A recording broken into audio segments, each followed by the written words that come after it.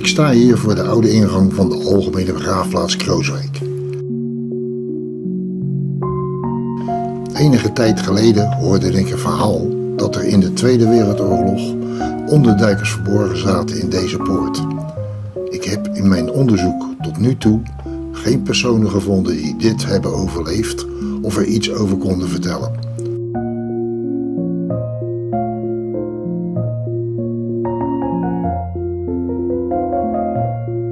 Personen die mij dit vertelden hadden gehoord dat hier een ruimte moest zitten waar je je kon verbergen.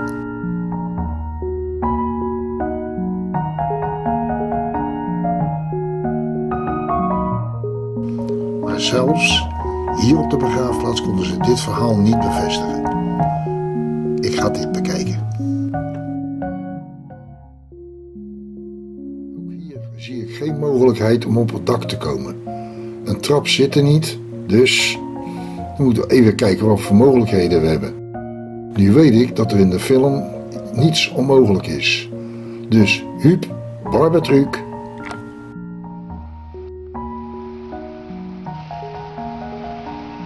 Zo, nu gaat het wel beginnen. Is toch wel spannend.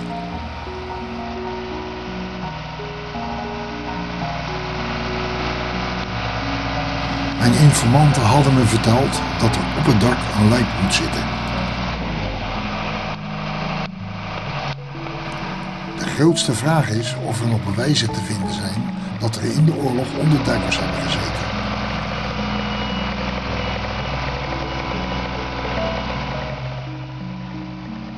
Ben benieuwd of er echt een luik zit.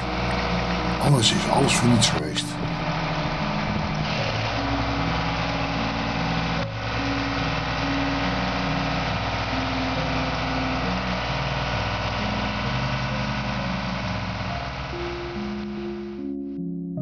We staan nu op het dak. Het luik wordt nu opengemaakt en ik ga kijken hoe het eruit ziet van binnen.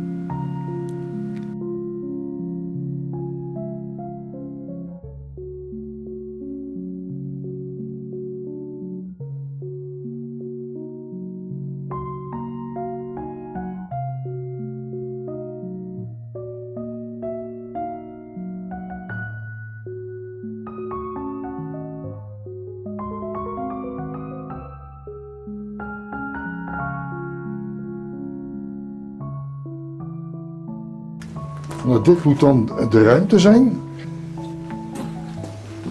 Ik zit nu binnen in de poort.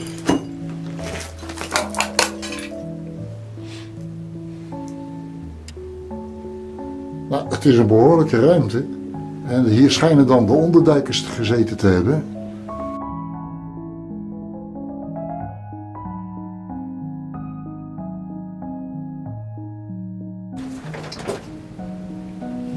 Ja, ik kan me voorstellen als je in nood bent, dat je hier hartstikke blij mee bent. Een mooi plekje. Het is een heel mooi plekje, maar Je ja, komt er ook niet zomaar in.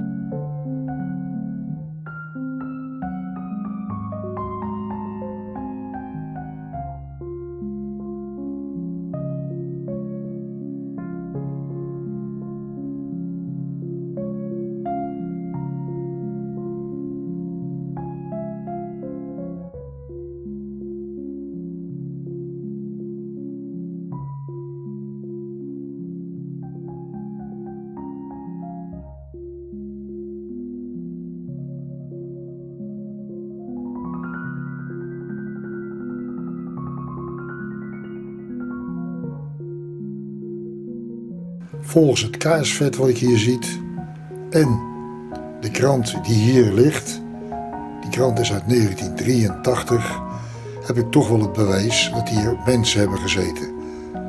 Maar dat was niet in 1940, 45.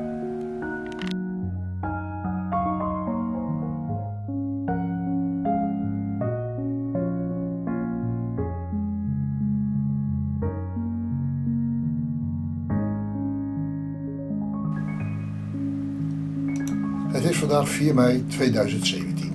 Dit was een bijzondere dag voor mij. Het is mij niet gelukt om het bewijs te vinden dat er in de Tweede Wereldoorlog hier onderduikers hebben gezeten. Het was een gerucht die ik van enkele Krooswijkers te horen kreeg. De bevestiging van dit verhaal kreeg ik van Bart Montaigne. Die vertelde dat hij dit verhaal ieder jaar van zijn vader hoorde. Toen ik dit hoorde besloot ik, dit moet ik gaan onderzoeken. Kreeg ook te horen dat de Krooswijkse jeugd in de jaren 60 hier in deze ruimte kerstbomen verborg. En de krant uit 1983 zal van andere onderduiker zijn geweest. Ik wil hierbij de Algemene Begraafplaats bedanken voor de medewerking en het beschikbaar stellen van de hoogwerken. Want naar boven klimmen zoals deze Krooswijkers hebben gedaan. Nou, dat lukt me niet meer.